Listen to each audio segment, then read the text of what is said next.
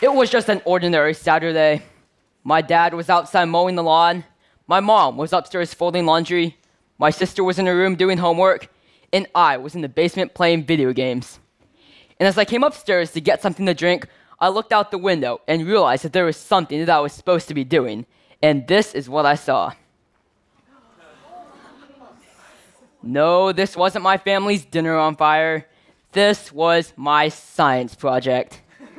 Flames were pouring out, smoke was in the air, and it looked like our wooden deck was about to catch fire. I immediately started yelling. My mom was freaking out, my dad ran around to put out the fire, and of course, my sister started recording a Snapchat video. this was just the beginning of my team's science project. My team is composed of me and three other students who are here in the audience today. We competed in First LEGO League, which is an international LEGO robotics competition for kids. And in addition to a robotics game, we also worked on a separate science project. And this was the project that we were working on. So the idea for this project all started when a few months earlier, a couple of my teammates took a trip to Central America and saw beaches littered with styrofoam or expanded polystyrene foam. And when they came back and told us about it, we really started thinking about the ways in which we see styrofoam every day.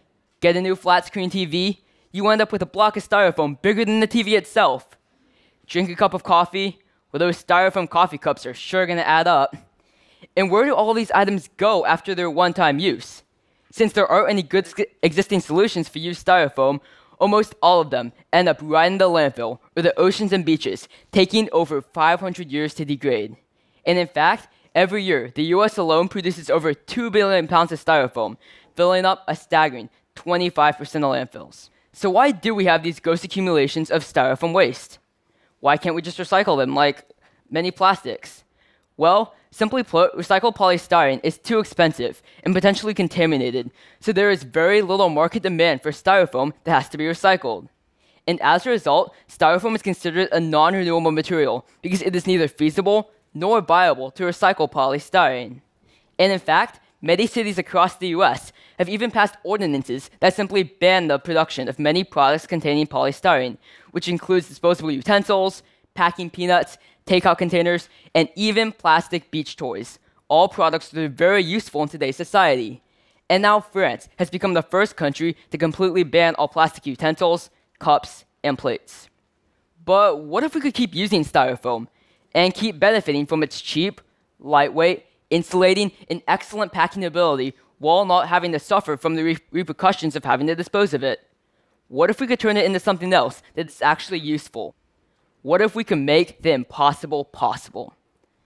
My team hypothesized that we could use the carbon that is already in styrofoam to create activated carbon, which is used in almost every water filter today.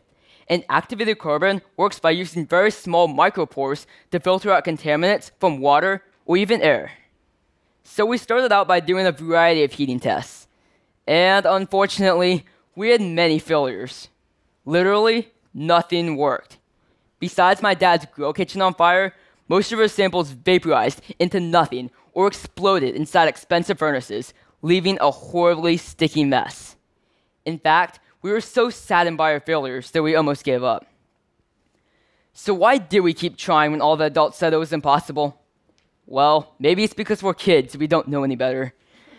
But the truth is, we kept trying because we thought it was still possible. We knew that if we were successful, we would be helping the environment and making the world a better place. So we kept trying and failing and trying and failing. We were so ready to give up. But then it happened. With the right temperatures, times, and chemicals, we finally got that successful test result showing us that we had created activated carbon from styrofoam waste. And at that moment, the thing that had been impossible all of a sudden wasn't. It showed us that although we had many failures at the beginning, we were able to persevere through them to get the test results that we wanted. And moreover, not only were we able to create activated carbon for purifying water, but we were also able to reduce styrofoam waste, solving two global problems with just one solution. So from then on, we were inspired to take our project further, performing more tests to make it more effective and testing it in real world situations. We then proceeded to receive funding from the NSTA's eCYBERMISSION STEM in Action program, sponsored by the US Army, as well as FIRST, Global Innovation Awards, sponsored by X Prize. and we were also honored with, sci- with the Scientific American Innovator Award from Google Science Fair. And using these funds, we plan to file a full patent on our process and to continue to work on our project.